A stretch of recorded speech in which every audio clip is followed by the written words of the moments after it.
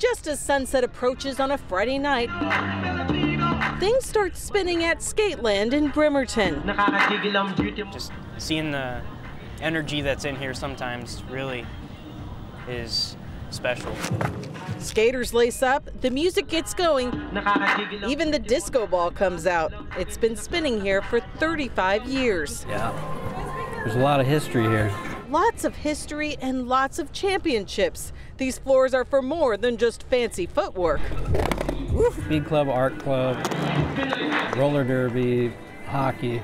So we kind of do it all.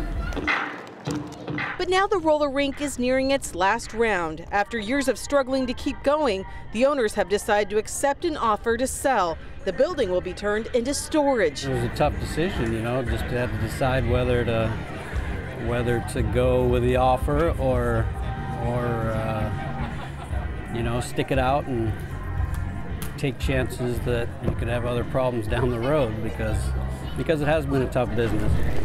A tough business. The only thing that made it worth it was the people.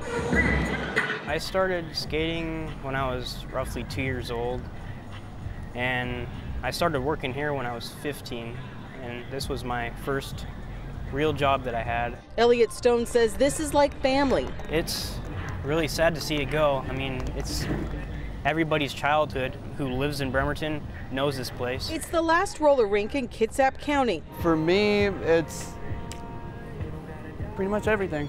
I've been here throughout the years, so seeing this place go is pretty hard to see. So skaters will have until the end of June to say goodbye. Thank you for 35 great years. Amy Moreno, King 5 News.